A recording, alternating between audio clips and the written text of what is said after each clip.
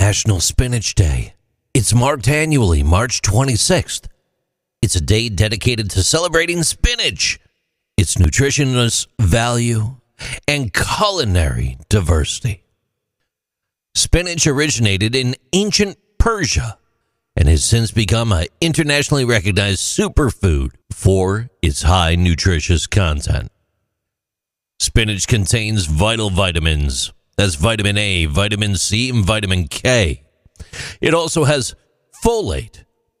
This all provides numerous health advantages. It promotes immunological function, bone health, and blood clotting.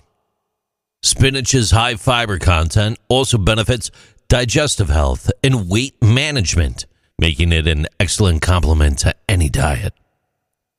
In addition to vitamins, spinach includes beneficial chemicals such as lutein, zeaxanthin.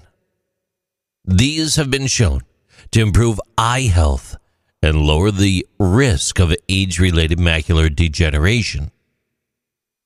Whether taken in raw form in salads or cooked, spinach is a versatile plant that adds taste and nutritional value to meals. So, National Spinach Day.